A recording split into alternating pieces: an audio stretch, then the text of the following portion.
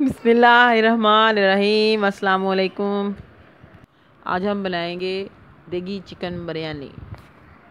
हमने बनाए थे घर में चावल और काफ़ी ज़्यादा बनाने थे तो और वो भी हमने बिरयानी के स्टाइल में बनाए थे।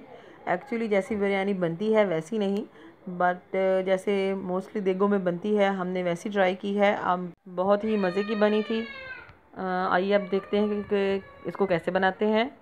मैंने अदरक लहसुन को चॉप कर लिया है। प्याज।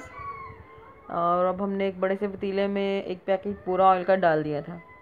आ, ये जो प्याज हैं ये चार से पाँच प्याज थे जो हमने काट लिए यहाँ पे तीन के जी हमने चिकन लिया है। प्याज हमारे हल्के हल्के ब्राउन होने लग गए हैं। प्याज ब्राउन हो गए तो हमने इसके अंदर डाल दिया चिकन। चिकन हमारा हल्का सा हो गया है तो हम उसके अंदर डाल देंगे। अदरक लहसुन का पेस्ट जो हमने बना लिया था बाद में।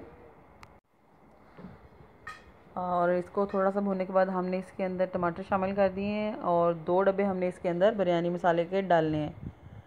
तो अब हम इसके अंदर बिरयानी मसाला डाल रहे हैं।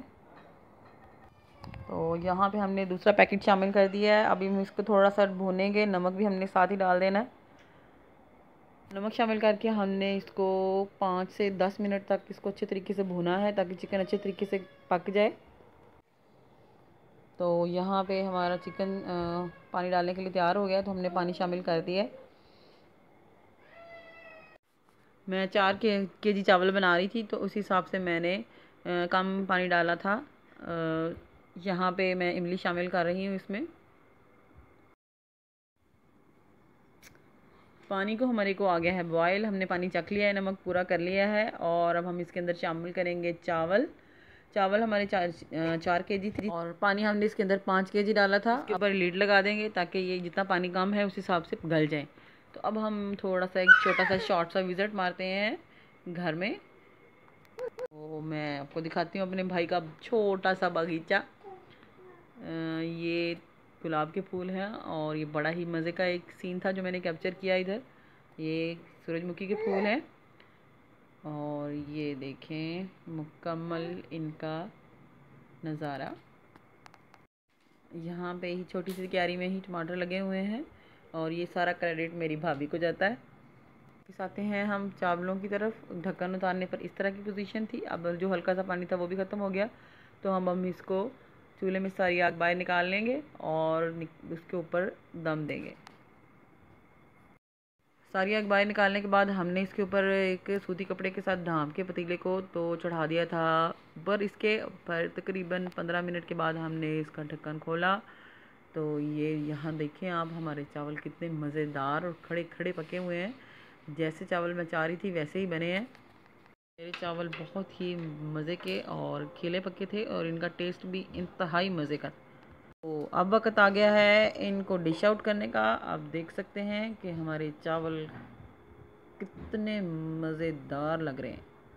तो अब शुरू होता है सिलसिला खाने का। तो जैसे जैसे ये हम डालते जाएँगे, वैसे वैसे हम सर्व करते जाएँगे। आप शक्ल देख लें चावलों की कैसे अलग अलग इनका दाना हुआ हुआ है। तो जी ये हमारा लांगरी है।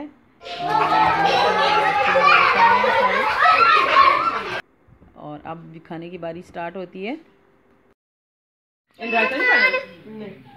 हेलो मम्मी के पास है? तो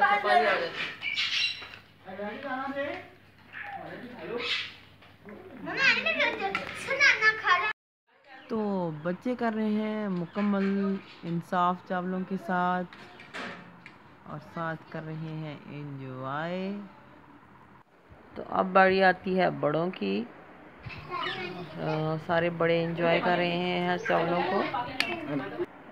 रायता बड़ा मज़े का बना हुआ था।